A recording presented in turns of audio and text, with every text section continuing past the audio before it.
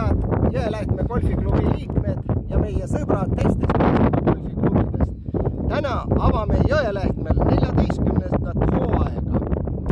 oleme nende aastate jooksul näinud siin päikest ja tuult ja tormi, olenevalt aastast. aga selleks aja, aastaks meie hea greenkeeper Krisu lubas meile absoluutset päikesepaistet. nii et tulge mängima oma sõpradega ja võtke ka oma sugulasi lapsi kaasa, naisi, mehi, kõiki. kõige paremat jõudu teile. tulge ikka.